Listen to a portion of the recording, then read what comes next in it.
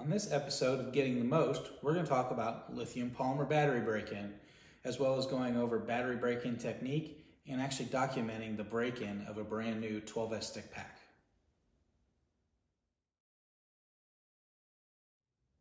Battery break-in has been a pretty talked about topic um, for a lot of years now.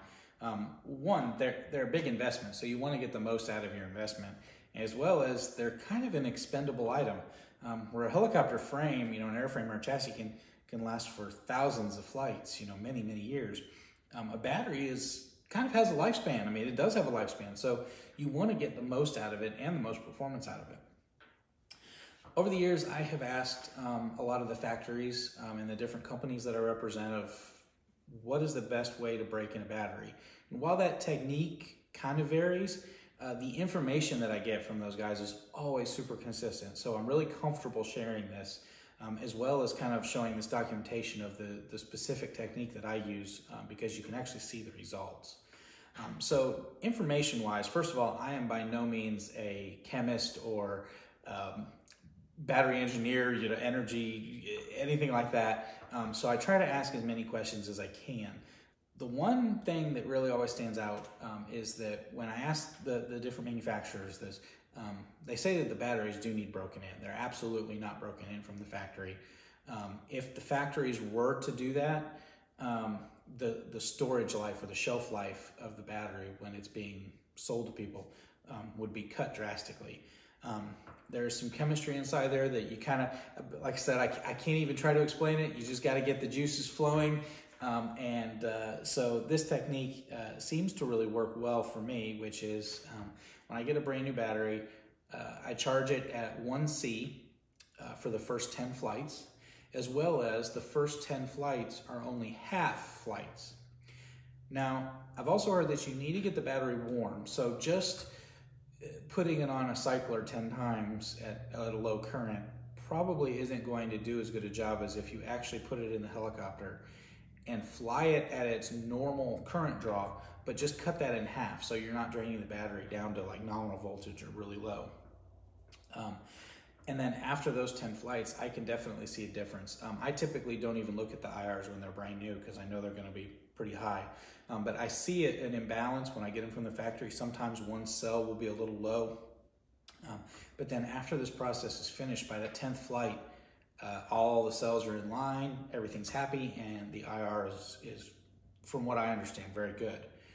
Um, so first, I want to go over a couple of the products. Um, I said that I would be very transparent um, in the uh, video. I, I, said which products that I'm that I represent um, as a sponsored pilot, or products that I just happen to use.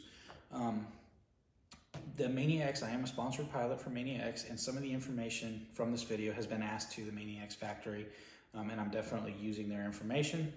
Um, RC Pro Plus, uh, the Super X connectors, they're great, they're solderless. Um, I use them on everything. Um, I also represent that company. I do not represent ISDT. And so I, I, really don't know many details about the chargers or, the, or their charging logic, but I do have fantastic results with them. Um, a friend of mine gave me the a couple T8s, and I think these are actually discontinued now, um, but I keep them around as a great DC charger. Um, AC wise, um, I've got the, the little D2. This one, I love going, taking this if I'm just playing with nitro or something small, um, as well as it's got a, a USB port inside so I can charge my transmitters. And then this is actually marketed originally as an industrial charger. Um, I happened to run across it when I was looking for a, a charger for some UAV stuff. Um, and I had seen that it's up to 16S. The built-in power supply is awesome. 110 to 240. If I go to Europe, I can just plug it right in. Um, it also has USB ports on the back um, to charge transmitters. And charger-wise, and also they have uh, their own uh, balance boards for up to 16S, so you can run just a single JST.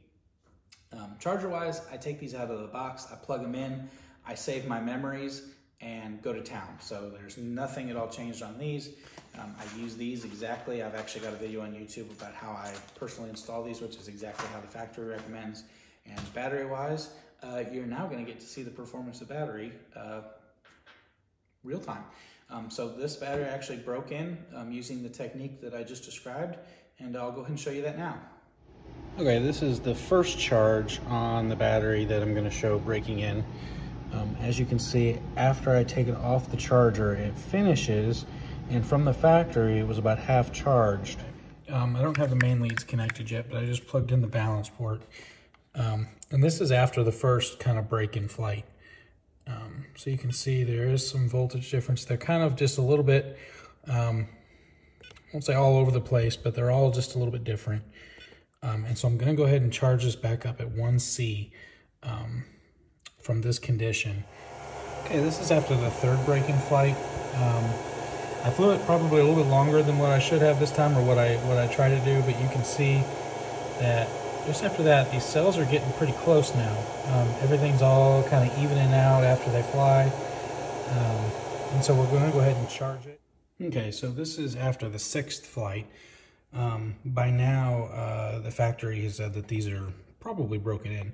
But we'll go ahead and look at those. Um, you tell they're super imbalanced. I mean, talking a hundredth of a volt um, is, is pretty much next to nothing.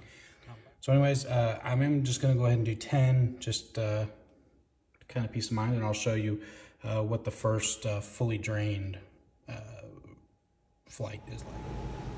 Okay, so I've got it plugged in. This is after a completely full flight. Um, probably could have flown it a little bit longer. Uh, I just, the second my timer hit three minutes, I stopped. Um, but this is the first kind of full, full-on flight it in. You can see stayed pretty balanced. A um, couple cells are hundredth of a volt off, but good. It's actually still warm from the flight. So go ahead start charging. Now at this point after um, the 10 cycles, I'll start charging at 2C. Okay, uh, I'm back. I let this battery fully charged. It actually only put 4,000 milliamps in it. Um, it took 30 minutes to fully charge and balance at 10 amps. Uh, as you can see, the balance looks really good. Um, fully charged. Um, it's even sat for a little bit. It actually, I, I, let it sit for a little bit after it charged, so it's been sitting here on the charger.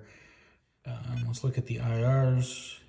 Okay. I mean, they look pretty good. They're they're all pretty balanced. It's so you can see, I think that technique and those results really speak for themselves. Um, myself, just like you guys, I want to get the most flights that I can out of these things.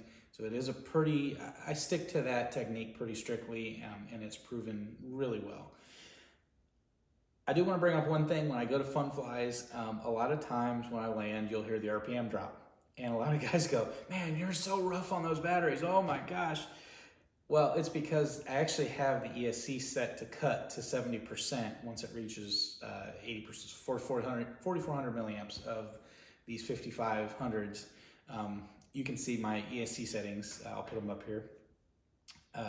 And I think that is a great feature because uh, if you use a timer, you know, sometimes you miss it. Um, I know I've got telemetry, capacity telemetry on my Futaba, and I've actually got it set to vibrate um, when it reaches uh, a certain capacity.